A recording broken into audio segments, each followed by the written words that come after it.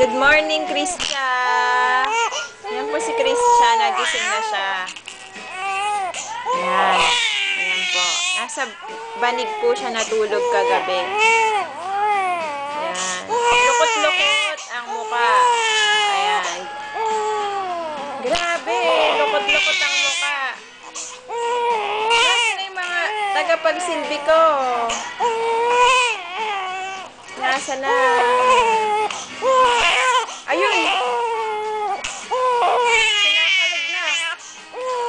Kinakalag na yung milk. Lola! Lola! Nasa na yung bib? Ay, mama, bib mo na bib. Tingnan natin. Ayan po, ang pagkasandalo. Tingnan mo kung paano ginagawa.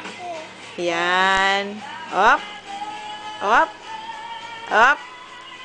Op. Ganyan po siya. Alam na niya ang mangyayari. Hmm, bib pa lang yan. Ayan, dodo na. Hmm. Naka-program na. I-demonstrate po namin ng feeding systems. Lulukutin ang Lulukutin ng kumot. at Yan. ilalagay ang Ah, ipapatong ang yes. dodo. Yan po. Feeding systems by Rich, Self-supporting na po yan. by Rich Grandma. Hanggang sa magkasuka-suka na siya.